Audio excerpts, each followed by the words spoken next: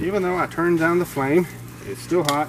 I can turn down some more, but sometimes the, uh, so you don't overcook meat and don't make it so tough, you just turn, turn, turn, just like the 60 song.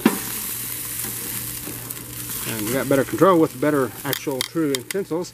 You got some nice grill marks there. And cook another five minutes on that side and it'll be done. So you want to make sure they're cooked all the way through or you don't want to end up being sick. So, cool. And then I'll add the barbecue sauce after they're completely cooked. Uh, just, just, I think lightly seasoned will be good. And then just add the barbecue sauce after they're cooked. Let the barbecue sauce seep in as after cooked. Woo!